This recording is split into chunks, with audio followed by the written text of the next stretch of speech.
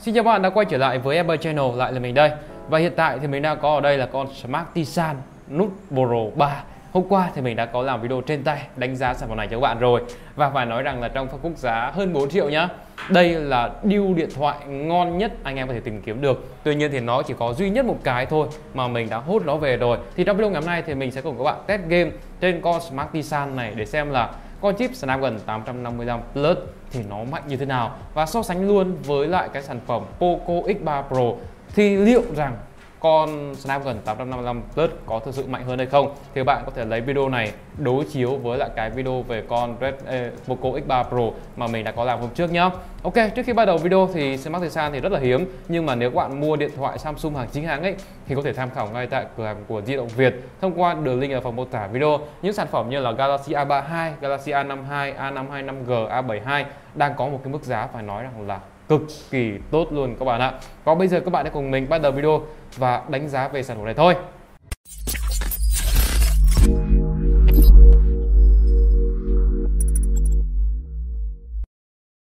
À quên, mình cũng sẽ điểm qua một chút về thông số kỹ thuật của cái sản phẩm này nếu như bạn nào chưa biết thì với phiên bản Smart Tisan Nút Pro 3 mình đang có trên tay thì nó sẽ chạy cho mình vi xử lý sẽ là Snapdragon 855 Plus các bạn sẽ có 12GB RAM, các bạn sẽ có 256GB bộ nhớ trong và thực sự phải nói rằng là cấu hình quá ngon đúng không? Điểm số Anatu con này thu được thì 560.000 điểm là một số điểm gọi là cực kỳ cao trong tầm giá này rồi. CPU của nó là 153, GPU của nó là 196.000. Nói chung là không thua bất kỳ bố con thằng nào hết.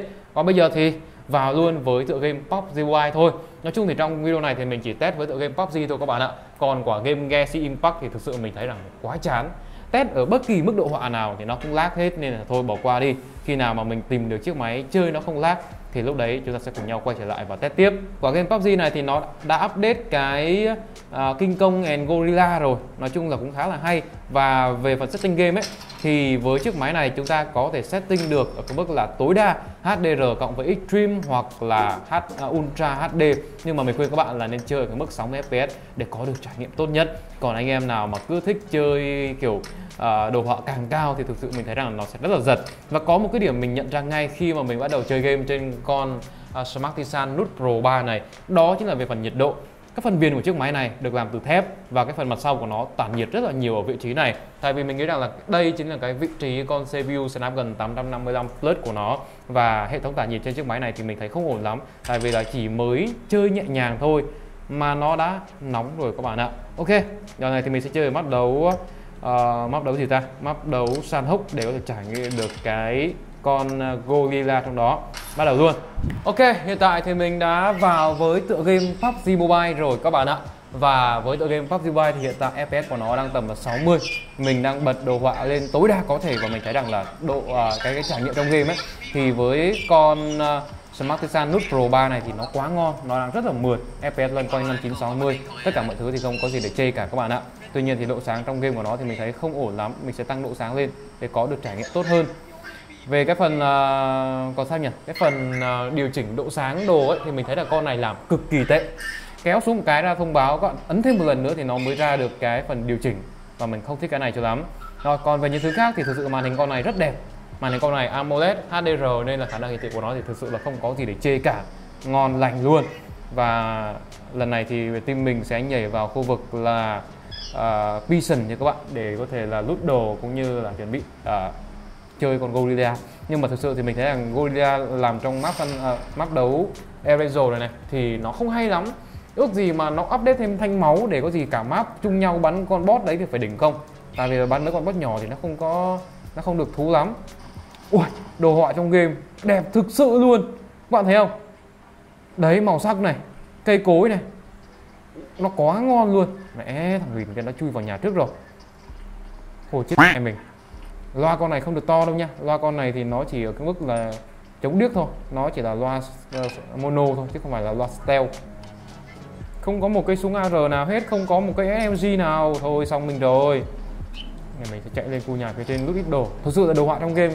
Với con này nhá và với con chip Snapdragon 855 Plus thì nó không thể nào chê được một cái điểm nào luôn đấy.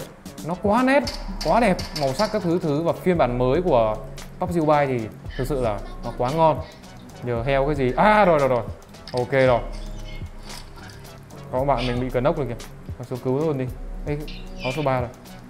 Hình như quả nhà trên này mới thiết kế lại thì phải hồi xưa mình chơi mình vào đây đâu phải vậy đâu.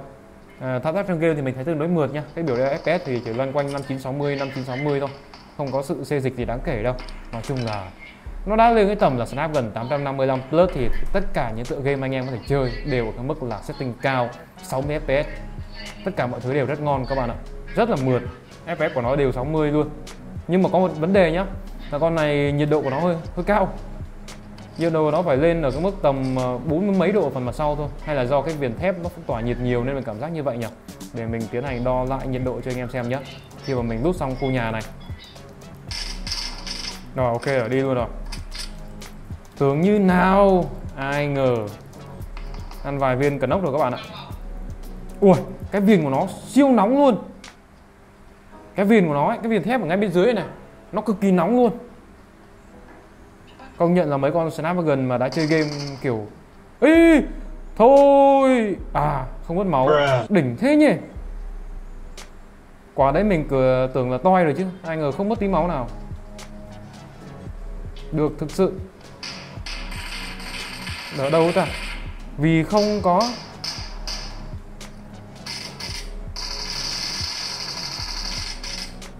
kiểu vì không có loa môn rail ấy bạn nên là khi mà xác định hướng ấy mình gần như phải dựa vào bản đồ hoặc là nhìn đến map thôi. Chứ còn mà để dùng cái loa này mà đánh nhau thì thôi chịu. Nói chung là hệ thống loa đang có trên con Smart Tisan Note 3 Pro này thì nó không ngon. Anh em nghe chỉ, chỉ chống biết thôi nhá. Note Pro 3 hay là Note 3 Pro đều được đều như nhau. Ui, đồ họa trong game này. Thực sự phải nói rằng là nó quá ấn tượng luôn đấy bầu trời này các bạn. Ngoài này có bắn nhau to mình qua không biến. Nhưng mà được cái là nhiệt độ nó thì nóng muốn tan chảy luôn cái phần khung viền. Thể các bạn là nóng thực sự. Chắc là mấy thương hiệu ờ, sản xuất điện thoại Trung Quốc thì họ muốn tối hóa về cái phần là nhiệt, hiệu năng thay vì nhiệt độ.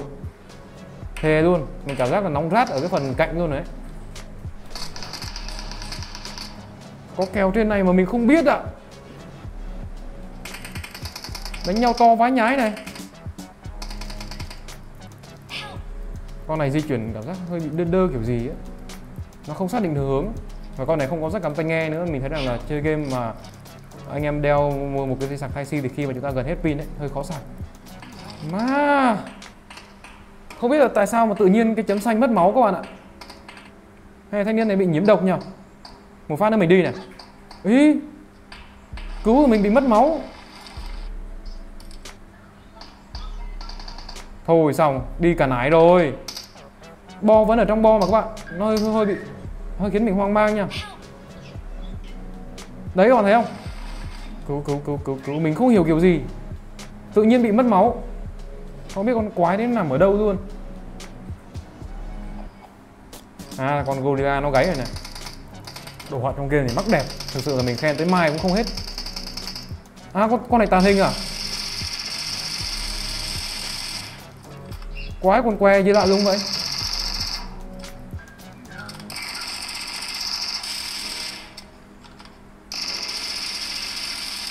Không thấy quái luôn. Thảo nào mà mình mất máu mà mình không biết. Một rất đồ này. Ây da, cay cú thực sự nha. Cỏ game này là chắc chắc do bị lỗi rồi. À lên đây mình rút đồ cái rồi mình sẽ đo nhiệt độ cho bạn xem nó nóng cái cửa nào nhé mình nghĩ nó phải tầm là 50 độ đấy. Nhưng mà có thể là khi mà đo thì nó sẽ thấp hơn. Này, mình sẽ tiến hành đo nhiệt độ cho bạn xem đây là nhiệt độ mặt trước này, nó sẽ dao động tầm, ui 49 độ. Kinh khủng khiếp. Nhiệt độ cạnh dưới này 51 độ. Và mình tin rằng chiếc máy này có khả khả năng nha, khả năng cao là nó có thể nướng trứng được đấy. 44 42 độ này.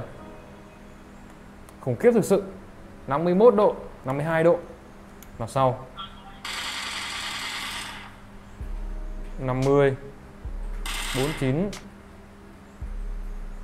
44 42 phần cạnh viền phần nóng nhất coi. Phần cạnh viền nó đo không chính xác lắm nó tầm 46 độ 47 độ này. Thề các bạn là con này kiểu siêu nóng luôn siêu siêu nóng. Thôi nói chung chơi cho vui thôi chứ còn à, à, mình mua con này để sưu tập là chính mà. Ui, quá nóng các bạn cầm cái phần cạnh viền mà nó muốn tan chảy luôn. Khi mà di chuyển chạy xe này FPS của nó vẫn đều 50 59 60 59 60 thực sự thì mình thích cách tối ưu hóa về phần FPS này. Nhưng mà với cái nhiệt độ như thế này thì thực sự là hơi khó hơi khó để chấp nhận các bạn ạ. Nó quá nóng với trải nghiệm một người bình thường. Và mình nghĩ rằng nếu bạn muốn dùng tốt tốt một xíu thì có thể là gắn cho nó cái tản nhiệt. Hoặc là bạn có thể chơi thêm một cách nữa là là gì ta? À, là đeo cái ốp lưng cảm giác nó đỡ nóng hơn. Ông anh này chịu khó phết heo cái chạy qua đó liền. Được thực sự. FPS lúc này có dao động một tí xíu nha, nhưng mà nhìn chung là nó vẫn ổn. 5960 nếu như anh em mà, kiểu, ép sung nó lên nữa thì mình nghĩ rằng có thể lên hơn.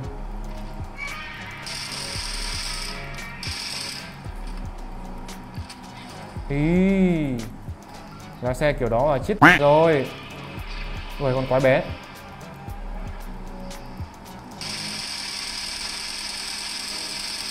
Con này ăn đạn được, con này hình như chết hay sao? Con này có chết. Hai con này là gì nhỉ? À, con này không chết, con này ờ, chỉ là boss làm màu cho vui thôi. Chạy nhanh nhanh không nó rộng cái chết cha bây giờ. Hình như con gorilla lần nào nó cũng ra ở khu vực này phải. Ui thanh niên này không biết học bằng lái xe máy chưa mà đòi lái ô tô rồi. Con gorilla thì ờ, bắn nó không mất máu các bạn nó chỉ là cảnh chạy vui vui vậy thôi. FPS khi mà lại gần con gorilla thì có bị drop, chắc là do nó to quá này cái hoạt ảnh của nó làm bị lag máy. Lượn cả map mà bán được một người, không biết là bot hay người luôn, mà bây giờ còn 7 người, các bạn ạ, không hiểu sao quả map này nó không hiểu sao quả map này nó đỉnh thực sự luôn. Và chơi đến phút Nãy giờ thì mình đã chơi được khoảng tầm 22 phút với quả game này rồi, Và mình thấy rằng là quả game này nó chán thực sự các bạn ạ. Em gì cả map không có thằng nào Không có thằng nào để bắn luôn đấy. Không có thằng nào để bắn mà bắn được có một người mà không biết là phải bot hay người nữa. Chắc là cái map này thì ờ, anh em đi xem con Gorilla là chính thôi. Còn mình lượn cả map là không thấy ai rồi đó. Ui! Nghe tự nhiên cục đá nó lao ra dưới đường. Có người có người rồi, mừng quá. Cái thằng bắn là thằng nào nhỉ? Nó ra ngoài rồi bắn như kiểu khách ấy. Ơ ơ siêu nhân à? Không hiểu kiểu gì luôn không hiểu tại sao chết luôn. Nhưng kiểu hack ấy các bạn ạ thảo nào quả map này nó nhanh vậy.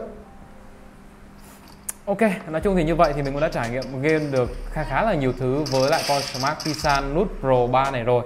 Và phải nói thật với các bạn rằng con Smart Kisan Note Pro 3 này nó chơi game rất ngon Sự drop FPS gần như là không có và rất ít luôn. Còn à, cái trải nghiệm cầm nắm ấy thì mình thấy không ngon lắm Loa thì hơi bị kiểu nó nó nghe một bên nên hơi chán. Thêm một cái nữa là nhiệt độ con này thì nó hơi nóng ra. Còn tất cả mọi thứ còn lại thì mình thấy con Smart Tisan Note Pro 3 này Nó thực sự là khá là ấn tượng. Rồi, nói chung là video này thì mình xin trải nghiệm hiệu năng của chip Snapdragon 855 Plus Với tựa game PUBG Mobile thôi. Còn Smart Tisan Note Pro 3 này thực sự mình thấy rằng là anh em rất là khó để có thể kiếm được. Tuy nhiên là bây giờ mà mua được chiếc máy này thì có thể là mức giá của nó sẽ khá là cao. Ok, vậy thì các bạn nghĩ gì về con Smart Tisan Note Pro 3 và con chip Snapdragon 855 Plus này? Và với mức giá 4 triệu, các bạn thấy nó có thơm hay không? Và hiệu năng Snapdragon 855 Plus, bây giờ các bạn cảm thấy như thế nào? Thì đừng quên để lại cho mình ý kiến nhận xét dưới phần bình luận của video này nhé. Còn bây giờ thì xin chào và hẹn gặp lại các bạn trong những video sau. Hy vọng các bạn sẽ để lại cho mình một like và subscribe các bạn nhé. Bye bye!